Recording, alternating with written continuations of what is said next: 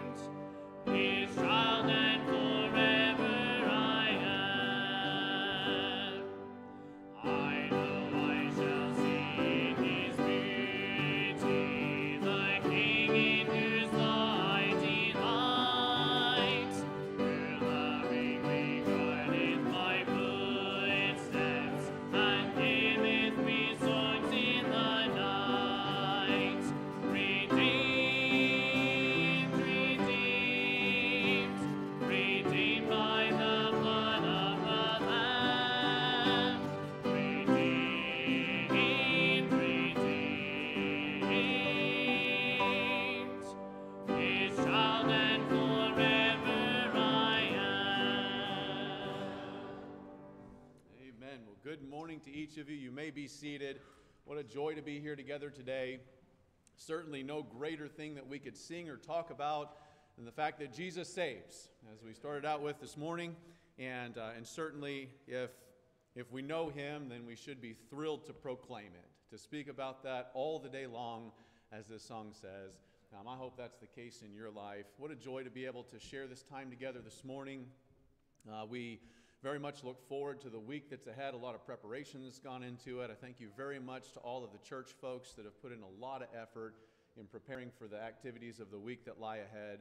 And particularly, we look forward to the time um, of just bonding together as a church, building intimacy amongst the membership, and sharing together in God's Word. And so be, be prepared for that. Um, we're going to finish up our, our normal morning worship service um, upon the completion of the preaching. Then that'll be it for our activities on this property today. And then folks will have a few hours to get changed, get your stuff, and get prepared. And then um, check-in time out at Bingle Camp is at 3:30 this afternoon for the lion's share of the church membership.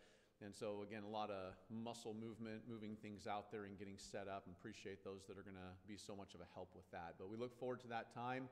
And uh, and this morning, we're very much looking forward to the opportunity to continue singing and then uh, and then to hear the preaching of God's word. At this time, um, we're going to go before the Lord in prayer as we prepare to receive our tithes and offerings. And it's always our prayer that the Lord would find us joyful givers as we contribute to his cause. Father, we give you thanks for this day. We give you thanks for the beauty uh, of the day. Uh, being able to rise this morning and have our being is a gift from you. We know that none of us are guaranteed another day of life.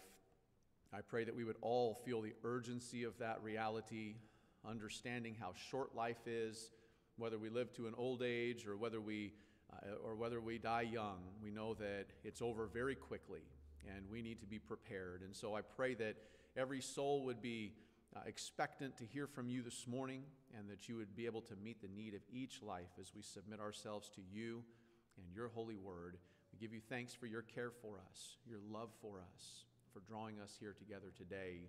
And again, just for the beauty of the, the clear day and the sunshine, and as I reflect on, on the, the physical reality of that, I'm always reminded of, of the spiritual nature of how your light of truth shines into our hearts and, and how it shone into mine and led me to salvation through Christ. I pray that every heart would be humbled before you today.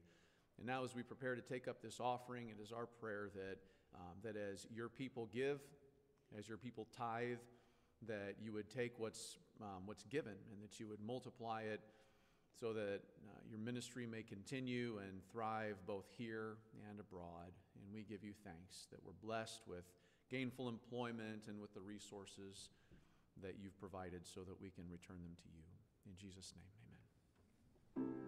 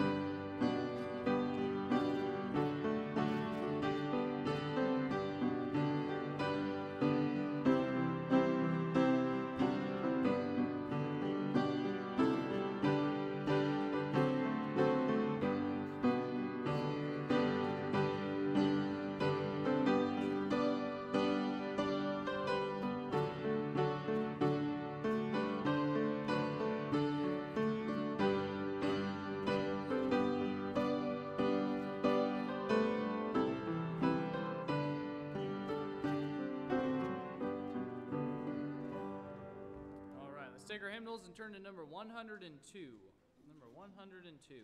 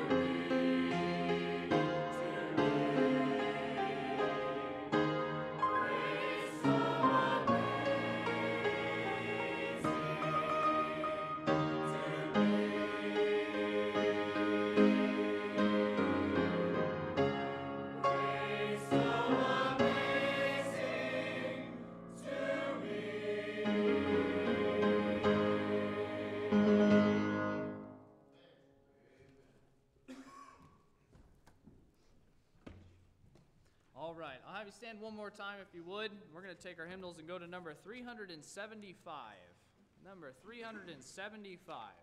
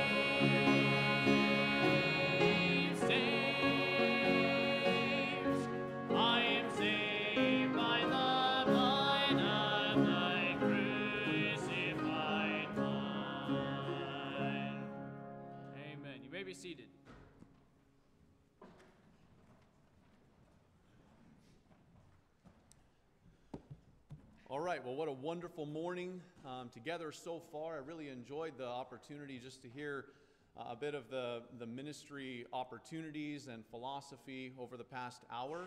And I hope that you enjoyed that as well. I mentioned earlier that uh, for me personally, I've known Brother Dennis Thomas for a long time, or at least known of him. I met him when I was uh, a young man. I was about 17 years old the first time that I met him. I believe that was his second trip to Alaska. Yeah, this is his third one, but that was back in the, the mid to late 90s. And uh, really, really uh, an impact on my life at that point in time, which he may or may not even know about. But I've been amazed just in visiting with him and with some of these other men over the past week to see the way that many of the, the threads of our lives and of our heritage are woven together.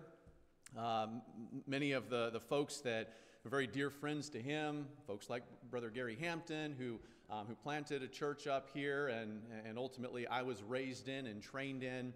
And then, uh, and then some other folks that, uh, that he knew and many of us know well, such as Brian Disney, that was, uh, came to the Lord there at, at Rogers Baptist Church. He was telling me about that just a couple of days ago and the impact he's had on my life and, of course, on the life of Brother Cristobal and, uh, and many others that we've known and supported through the years. Just amazing for me to see. Uh, we, we considered a couple of Wednesday nights ago about um, the generational impact that we can have, either in iniquity as parents, whether it's physical or spiritual parents, and the way that those consequences are passed down through the years and through the generations, or the positive reality uh, and impact that there can be when people serve the Lord and they minister for Him, and many other generations are blessed as a result. I'm a, personally a product of that. I'm so thankful for it. It was actually um, the last time Brother Thomas was up here that the Lord really put His finger on my heart and humbled me, brought me to my knees, and brought me to a point of full surrender. I still remember to this day even the text that he was preaching out of. I don't remember a whole lot. My memory's not very good, but I still remember the text that, that the Lord led him to preach and, uh, and really just brought me to a point of full surrender. And again, so I'm just thankful for that. It's been exciting to, um, to look forward to him coming up here and his wife, and of course, these other missionaries as well.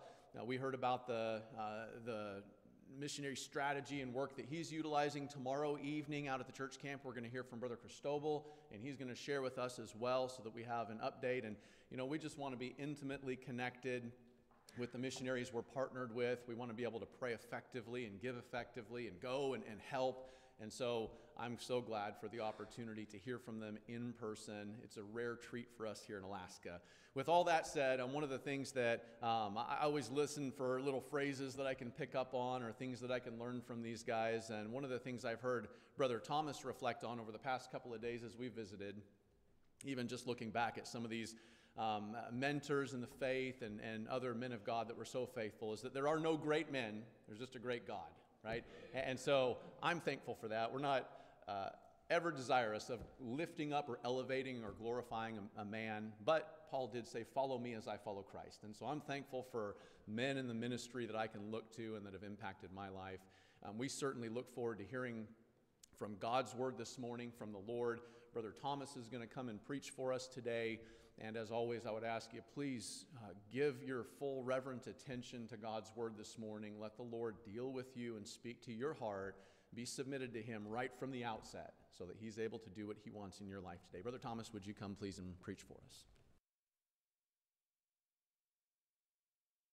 It's always so awkward to walk up there like this, you know. yeah. But I don't know that I like sitting up there all the time either, you know. I've been in churches where I sit up on the podium the whole time. People tell whether I'm singing like I ought to. I'm going to try it in the pulpit. I, am so thankful for Brother Phil. Boy, you can tell how tender-hearted he is. It's reflected in the church members and and uh, all your care for us. And it's it's and then and then you can tell the order God is a God of order. Amen. And He's glorified in that. Sister Jen, I didn't know you could tickle those ivories like that, girl. man, oh man. We got some talent in the church. I love all of you. I mean it. Every day I get on the radio, I tell people I love them. I tell them I love you, Daddy. I love you, Mama. I love you, Granddaddy. I love you, Grandmama. I love your all your babies. I love all of you. And I say that on radio. And by the way, I'm not on Christian radio, I'm on public radio, uh, you know, and it's, it, it really is a target for me to reach people before it's eternally too late. Amen. So I'm going to try this. Get up in this pulpit. Does that sound good?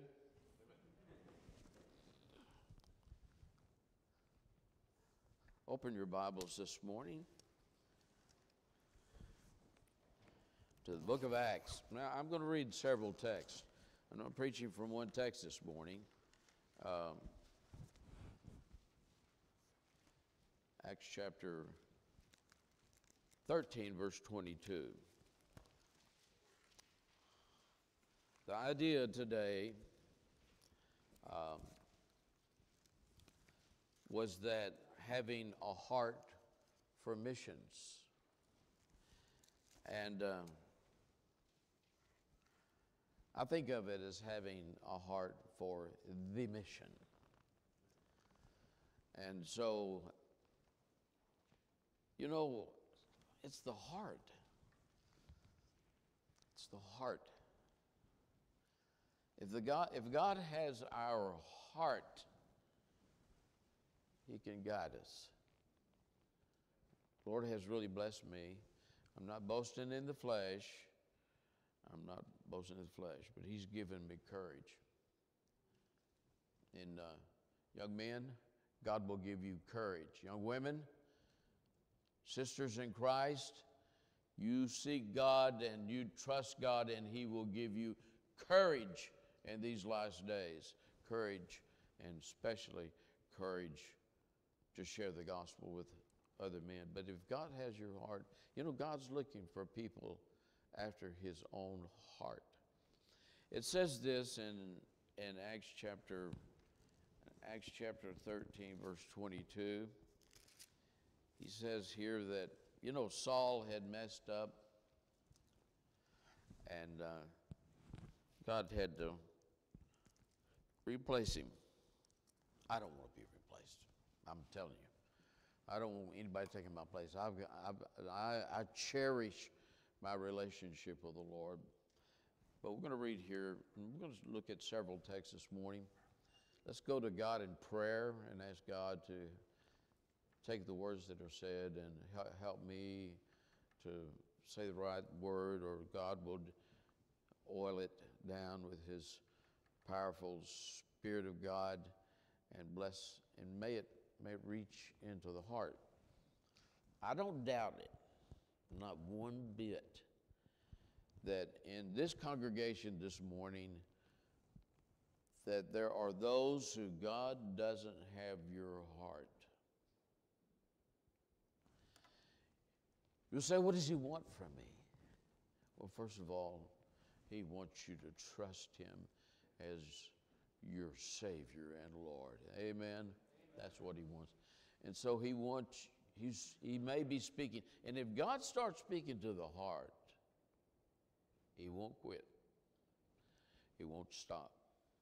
Maybe there are those who God is calling to a, a fuller commitment to service, and He won't stop till He gets it. Father in heaven,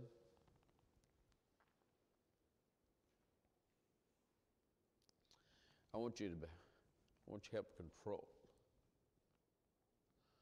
of my heart.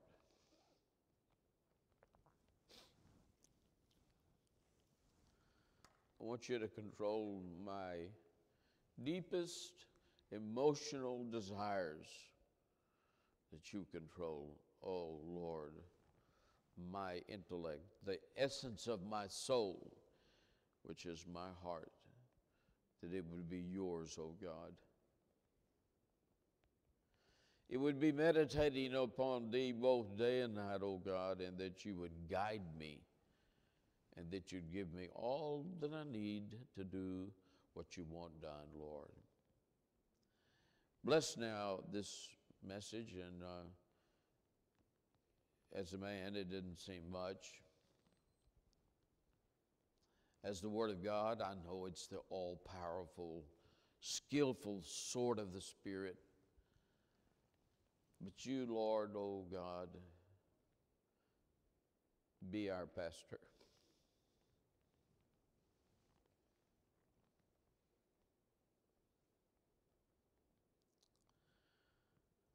May we say, in reference to thee, no man ever spake as this man. So I pray, Father, that you would bless this day, bless this service. Thank you for this church and their commitment to thee, O Lord. For it's in Christ's way, name I pray. Amen. It says here, and uh, Saul, you know, he messed up, wouldn't obey God. And it says this in verse 22 and when he was removed, Saul, King Saul, he stood head and shoulders above everybody in Israel. He was the specimen of a leader, but he wasn't a leader. He didn't fear God. He didn't obey God. He didn't listen to God. But he was all those other things. He said, He raised, and when he had removed him, he raised up unto him, unto them, David to be their king, to whom also he gave testimony and said, I have found David. And he knows your name, he knows my name. One day he said, I have found Dennis. I have found Dennis.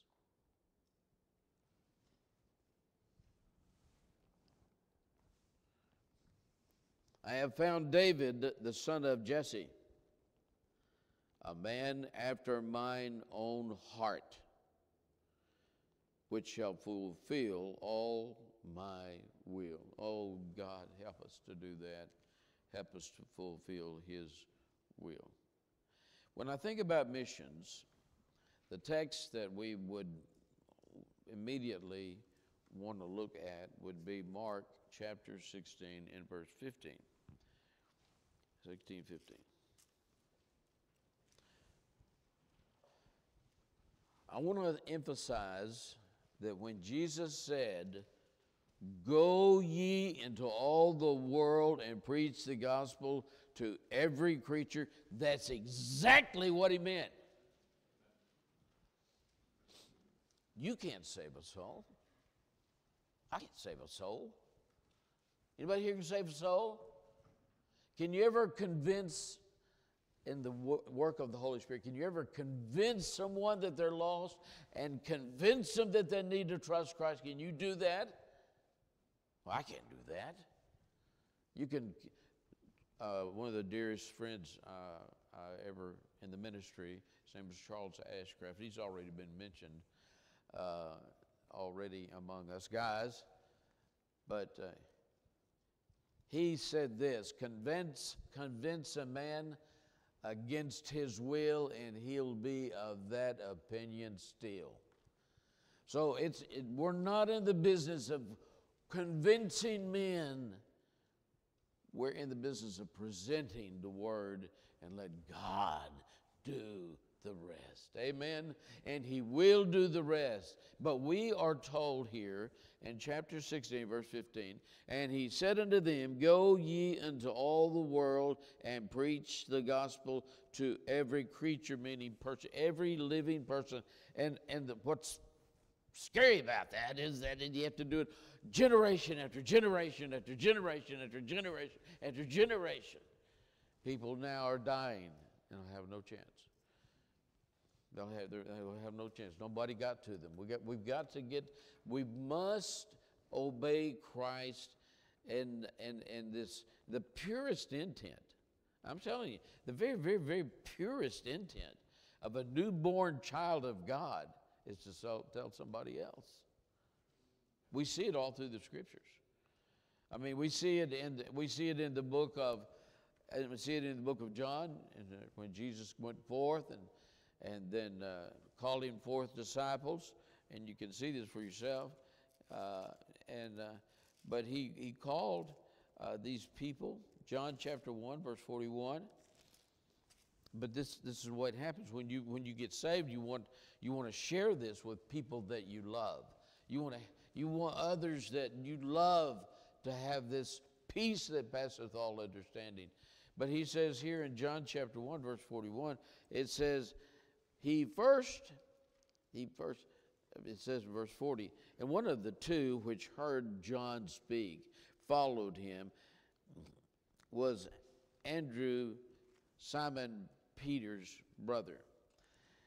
And he says, He first findeth his own brother, Simon, and said unto him, We have found the Messiah, which is being interpreted which is the Christ, the anointed one. We, we, he's the one.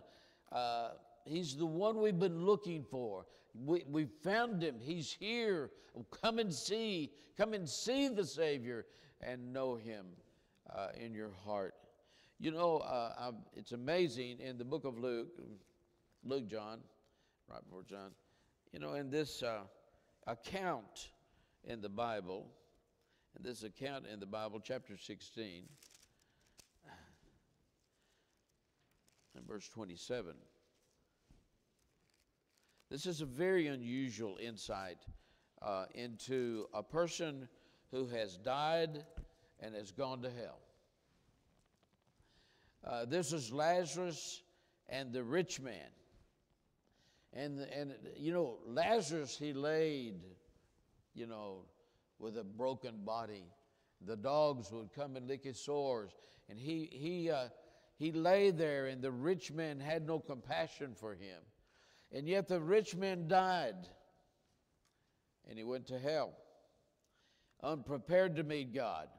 So in chapter 16, most amazing text, and verse 27, and he says here, this is the rich man in hell.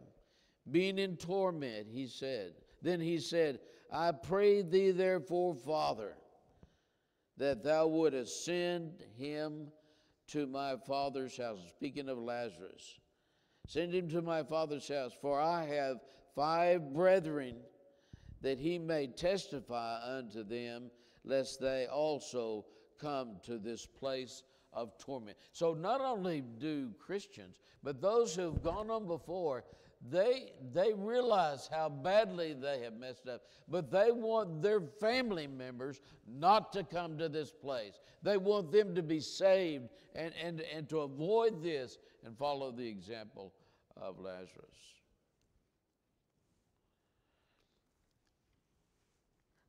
In the book of Jeremiah,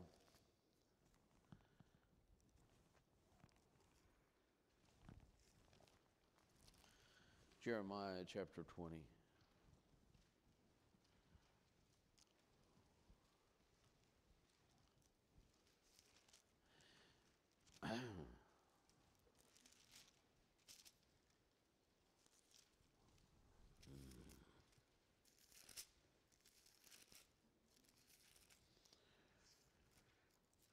You know, uh,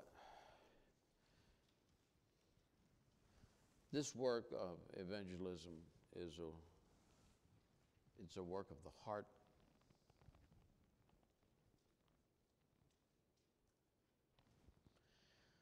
You know, I've said many times, Jolene and I, we left the States, we left our home church, and we went forth. We went to where the choir doesn't sing, you know. There's no pastors near to have fellowship with. There's no fellow believers.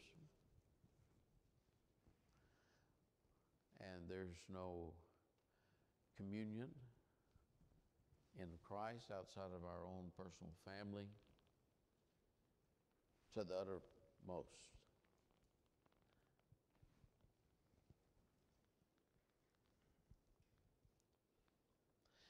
And I know that Jeremiah got to this place in chapter 20.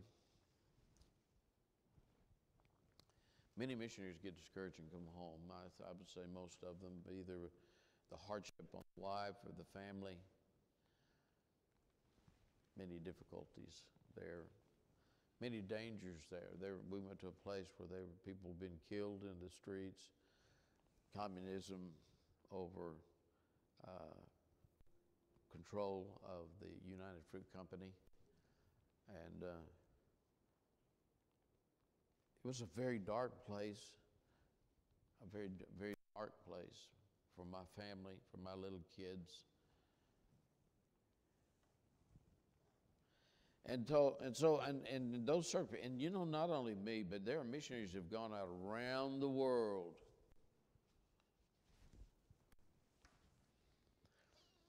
Maybe you this morning have, have thought, God, you've had times in, in your life when you were closer to the Lord or when you were more involved in, in this business of spreading the, the gospel.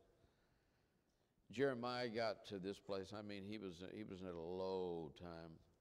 And he says in verse 9, Then I said, I will not make mention of him, nor speak any more in his name.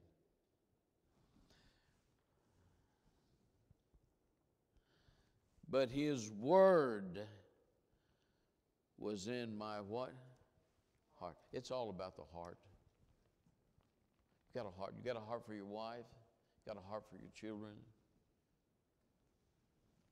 It's the most special part of God's creative work in mankind is he gave us a heart. The center of our desires and emotions and the things we care about. It's a tender, it can be a really tender place. It is in mine. I'm always at the point of tears. Jeremiah was the weeping prophet, they say. He said he came to a point that he was so down and so discouraged. He said, I'm, I, I'm not going to I'm not going to speak anymore in his name. But his word was in my as a what? A burning fire shut up in my bones, and I was weary with forbearing, and I could not stay. So he could not stay there. He had to come forth and speak uh, the gospel, speak the truths of Israel and the, and the damnation that they were facing, Judah and, and what, the, what was prophesied in them. The mission is to the whole world. In the book of Second Corinthians, chapter 2,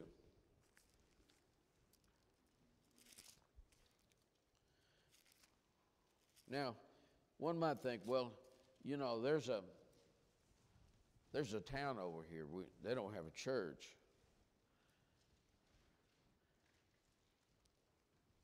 Chapter 2 of Second Corinthians. Said, they don't have a church, and, you know, they need a church, and we'll go, go start a church over there.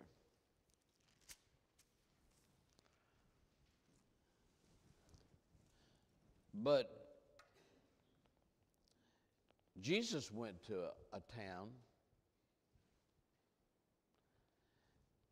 He went to a town. And nobody believed. In fact, he couldn't do any miracles. Jesus himself could not do any miracles in that town. And he taught his disciples he had to go away because there was no faith, he said. The disciples were taught the, the practice of foot dusting, dusting the dust off your feet. So every you say, well, oh, what a beautiful town. They really, really need a church, and they really do. But first, you go into that town and you begin to preach the gospel and sow the seed. Amen? You begin to witness, and as you witness, God will open doors, or maybe He won't open doors. You know, Apostle Paul went to many a place, and they took him to town and stoned him there and left him for dead. You know, that happens too. But you see, the gospel is to be preached to every creature. You say, I went to a, a, meeting, we went into Nicaragua, we didn't know anybody. You know, we were in buying groceries one Saturday, and we, I mean, we'd just been there days. And uh, they invited us to a gathering of NGOs for church, and so we went over there. And later on, they had a symposium. They had uh, classes and, and uh, on how to reach Nicaragua for Christ. And they went around and went around and went around and got everybody's opinion. How, how do you know where to start a church? And I didn't say anything. Finally, they got to me and said, Dennis, how do you know whether you can start a church or not? And I said, Well, that's easy. If nobody gets saved, there's not going to be a church there today. That don't mean tomorrow. That don't mean a year from now. That just means right now there's not going to be any church built right here because nobody is repenting and believing and opening their hearts to the gospel. Am I getting through? But you know, how do you know? Do you go? How do you know? How do you know if that? How do you know if that uh, sheep, that Dall sheep, you saw him go behind that rock? How do you know? How do you know? If he's going to walk out and you get a clear shot, amen? Do, I'm a fisherman. How do you know where the fish are biting? Well, you got to go. It didn't. It's not called catching. It's called fishing. Amen. And so, it's the same in the gospel. We've got to get the seed out. We have to go, and you don't know till you go. That's the bottom line. Now, 2 Corinthians chapter 2, very amazing text. Chapter 2.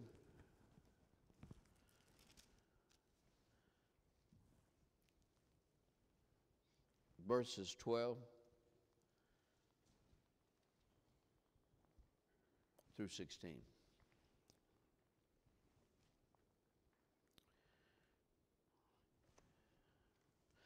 Furthermore, when I come to Troas to preach Christ's gospel, and a door was opened unto me of the Lord. Now, that's what you're hoping for. I had no rest in my spirit because I found not Titus, my brother. But taking my leave of them, I went from thence to Macedonia. Now, thanks be to God, which always causes us to triumph in Christ and make manifest the savor of his knowledge by us in every place. Every place. For we are unto God a sweet we are, for we are unto God a sweet savor of Christ to them that are saved. And, what does it say? What does it say? To them that perish. We are a sweet savor both to them and to those that perish. To one, to the one we are the savor of death unto death. Tough, isn't it? Isn't it tough? Tough to read that, isn't it? And to the other, the savor of life unto life. And who is sufficient Uh, for these things. I'm not, I don't know, but I know one thing. I have been taught and told and commanded to go preach the gospel to everyone in the world. Amen? I don't know what God's calling might be for you. This is His will for me. But I know one thing I have got to do, I am constrained by the Spirit of God to do everything within my power to reach everybody I possibly can. And I realize that many are not. Bible says about the way, He says, broad is the way that leadeth to what? Destruction. But you know, they need the gospel too. Whether they receive it or they reject it, we are commanded to preach the gospel to everyone. And then we're to baptize when they're believers.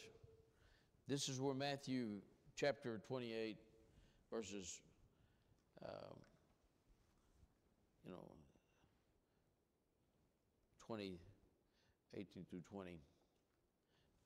Make disciples, he says, baptizing them and then teaching them the all things. Well, you're not going to do that until they've been saved, and they're not going to be saved until somebody goes and somebody tells them, and they have an opportunity to receive or reject the Word of God. Amen? It's like this morning. You said, I've not trusted Christ as my Savior. Well, now is the time. And not only that, but when you find believers, you're supposed to baptize them in the name of the Father, the Son, and the Holy Ghost. That's what the Bible teaches. Amen. And then he says to teach them the all things. That, look with me to Acts chapter 20. Acts chapter 20. This, this is the essence of who I am. This is the essence of what I do.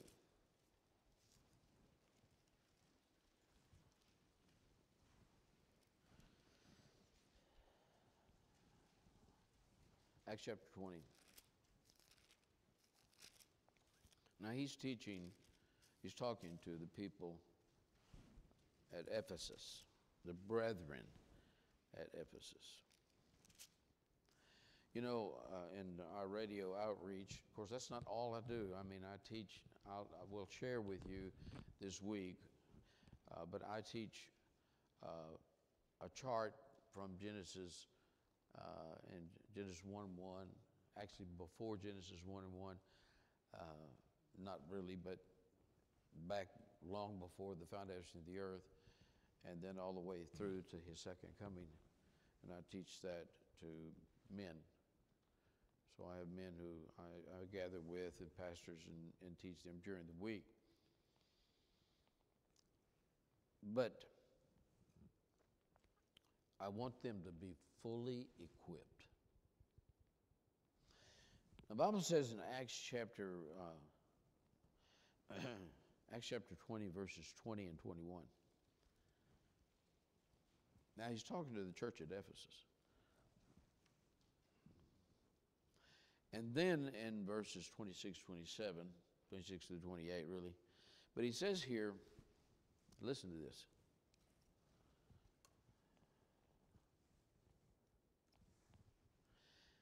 He says, How I kept back nothing that was profitable to you.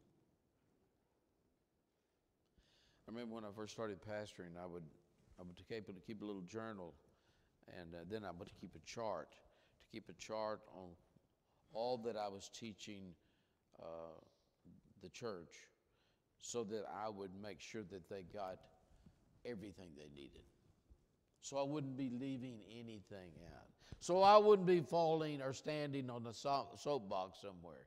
I want them to have the whole truth, God's whole truth, the whole needed for spiritual growth. Is in how I kept back nothing that was profitable for you, but have showed you and taught you publicly and from house to house. He said, not only taught you, but I took you and I showed you how to go about doing this, how to witness to people. How to, and all you're doing when you're witnessing, you know what you're doing? You're loving people.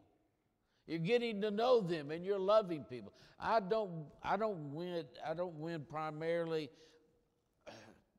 people I don't know to Christ, but I win people that I have entered in a relationship with. And so we find here that he says, I, I didn't keep nothing I kept. We went house to house, testifying both to the Jew and also to the Greek, repentance toward God and faith toward our Lord Jesus Christ. Then in verse 26 it says, And therefore I take you to record this day that I am pure from the blood of all men, for I have not what?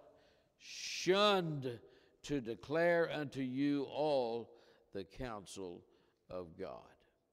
Take heed, therefore, to yourself and, and, and, and to the flock over which the Holy Ghost has made you an overseer to feed the church of God, which he hath purchased with his own blood. And so here we find that, that, that eh, but, but the emphasis I want to make this morning is that, man, we're supposed to do this to everybody.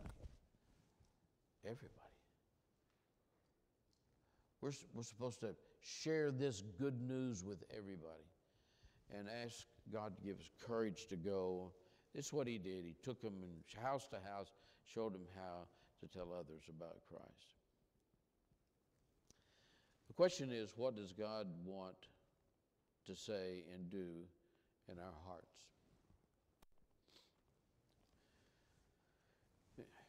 You know, He wants to convince us. He wants to convince us. And He wants to woo us. I never forget back years ago, I, I was, uh, I'd seen Jolene at one of those SAT tests or, or whatever they called them. And uh, I saw the back of her hair, her head. She's so well groomed.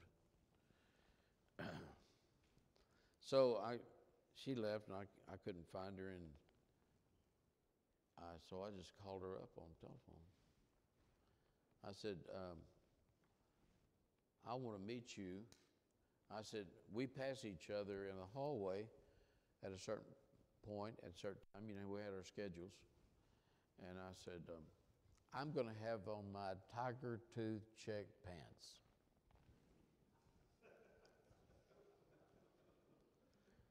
So I walked by and she walked by and she looked down at my pants, looked at me. Wasn't anything there she was interested in.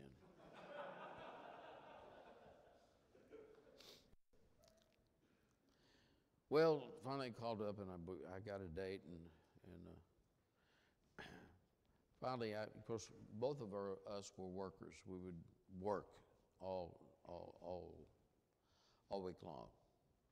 We'd get out of school early and we'd go to work. That's what we did. I, on Valentine's Day, I, what a dummy I am. But I, I spent a week's salary on a dozen red roses and had them delivered to her. And she went out with the guy that delivered the roses. Years passed, went by, and I sent her another dozen, red roses, but I delivered them myself.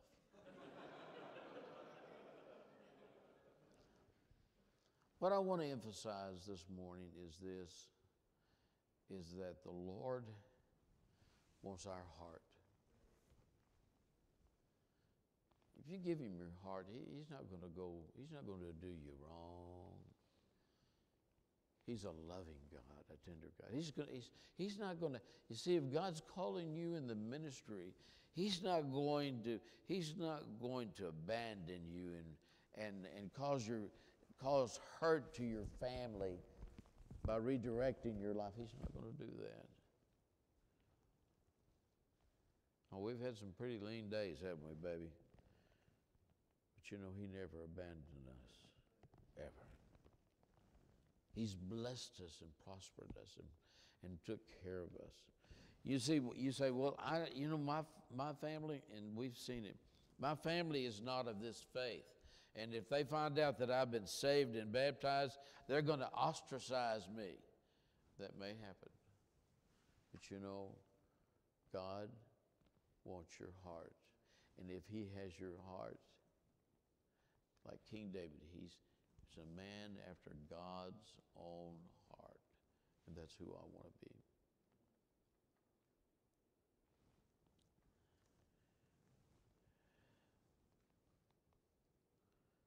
What is God speaking to your heart about this morning?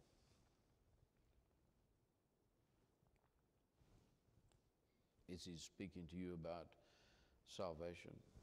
You know, in the book of Romans, chapter 10,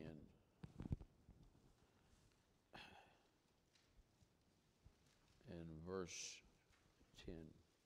Well, first of all, in verse 1, look at this missionary's heart. Look at this missionary's heart. He said, Brethren, my heart's desire and prayer to God for Israel is that they might be what? Saved. There's no peace for your family, your extended family. There's no joy until Christ comes in. The desire to see your family saved you can read the book of Romans and, uh, and uh, the last chapter, you can read how that maybe his mother and even other family members were in Christ before he was saved. They were praying for him the whole time. He was a radical man. He was killing Christians and committing them to prison. I mean, he was a radical, but God got a hold of his heart. But we find in verse 10, it says, For with the heart man believeth unto righteousness, and with the mouth confession is made to salvation. And it says in verse 11, For the scripture saith, Whosoever believeth on him shall not be what? Ashamed. Does the Lord have your heart? You know, uh, he told in Acts chapter 8, they told Simon, he said, Your heart's not right with God. That would have been hard to hear. Is your heart right with God? Have you said to him, Lord, take my heart? Use me for your glory. Take my heart. Mold me how you would have me be for your name's sake. We're going to have a word of invitation. Bow your heads. I don't know how it's conducted here, but we're starting on this week of camp. And God's going to be speaking to hearts.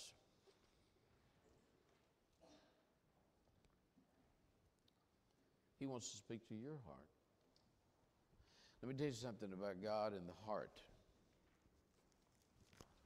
When God starts speaking to the heart, He can tell you clearly what He wants of you. You know in your heart what you have not gotten right. You know it. And He's going to woo you, but He won't stop. You know, when God saved me, I was uh, had worked all day and got on a bus and went to uh, a place where my dad was preaching, Willow Springs, Willow Springs Baptist Church.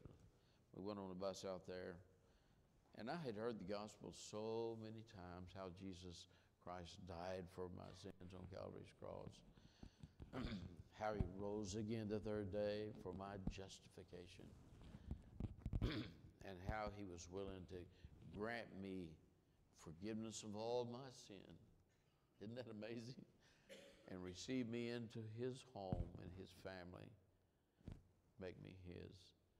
But I resisted. I, I remember that I standing and holding on to the pew on the second row from the front, left hand side. A little wood frame country church, but I felt like that when God spoke to me, He told me I was not ready. He told me that I needed to be born again. Even though I was teaching Sunday school, fifth grade boys, I was a good boy. I, I, I, never brought shame on my family. I, I wasn't drinking. I wasn't carousing. I wasn't doing any of those things. But he spoke to me and he told me that I needed to be saved, born again. That I was corrupt from within. That what he wanted to deal was with my sin nature. That's what he wanted to deal with. Well, I shook. I, I thought, I looked around. I remember looking around. I thought the whole building was shaking. That's how bad it was. I mean, well, I left that night on the bus. I was, oh man. Tried to work the next day, and I couldn't work the next day. The Lord had told me what He wanted of me. And uh, that night, on uh, Wednesday night, I uh, that was a Tuesday night. Wednesday, and the next night, we burned trash in steel barrels behind the house. Anybody ever done that? I guess you all have. well, down inside of there, there was maggots and worms and nastiness, and it stunk to high heaven. I fell before those drums, and I said, um, "That's who I am, Lord. I'm I'm all I'm pretty on the outside."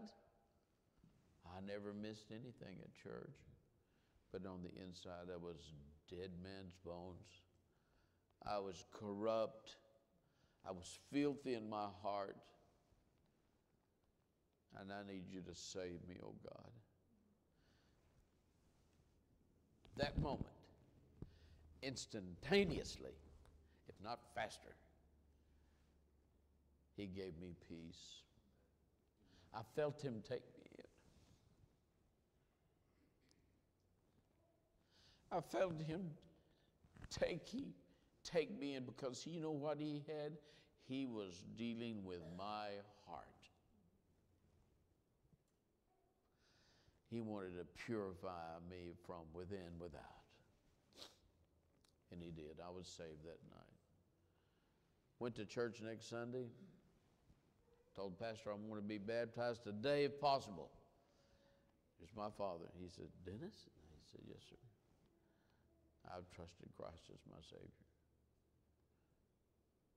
Listen, I don't know how God's dealing with your heart today, but you're not going to have a heart for missions.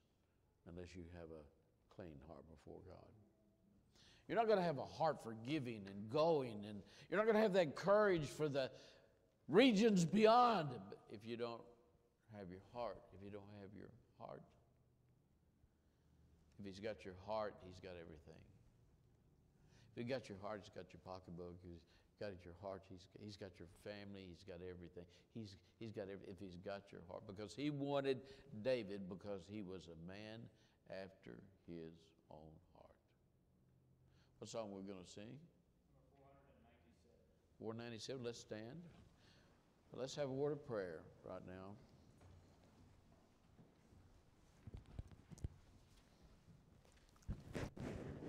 Father God in heaven, how we need Thee, how we love Thee. I pray, Father, that you'd bless this sweet congregation of people. You know I love them, Lord. I've loved them through the word this, this morning, and so I, I pray, Father, that you, and only you can know the heart of each and every individual. So I pray that every one of us would obey God this morning and that we would glorify Him and that we'd give Him our heart however He might choose to use it. For it's in Christ's name we pray. Amen. As we sing, Pastor, would you come?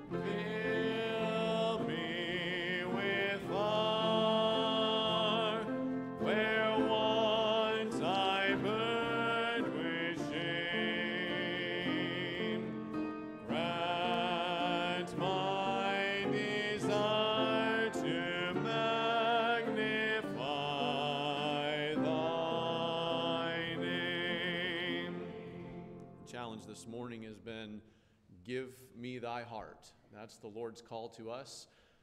First, in salvation, God calls every single person to himself. And if there's a soul that's here today that does not know the forgiveness of sins that's found in Christ, then that's the primary and first call to your life. Give the Lord your heart, submit and surrender to Him. And then the opening text that we read in um, in the scriptures was David, a man after mine own heart, which shall fulfill all my will.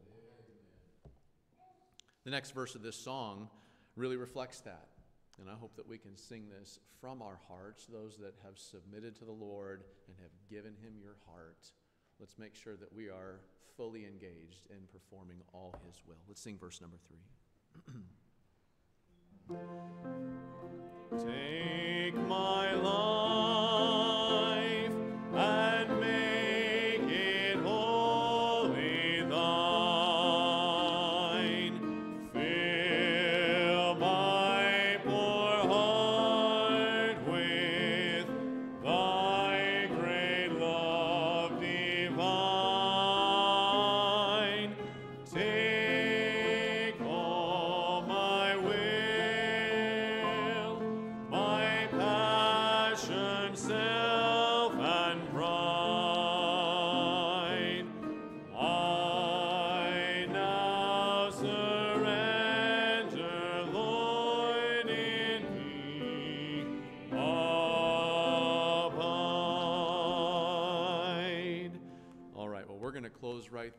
A wonderful start um, to our theme as we consider evangelism and missions this week the need to submit our hearts to the Lord.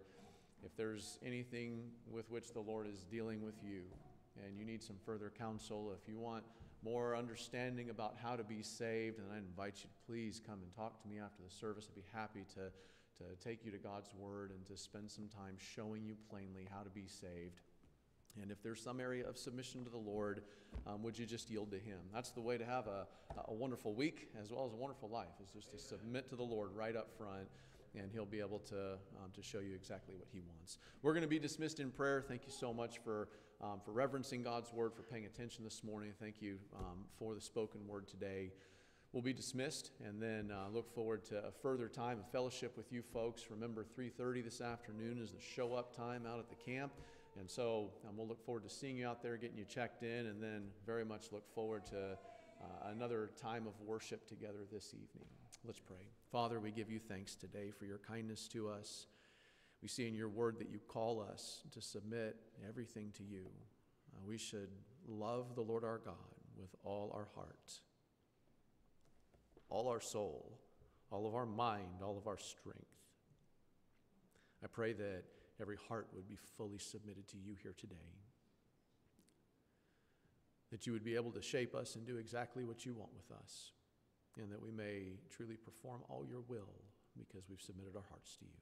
Thank you for your word. I thank you, Lord, for your kindness in reaching down to my life, leading me to an understanding of the truth so that my life could count for something for you. Please dismiss us with your blessing. In Jesus' name I pray. Amen.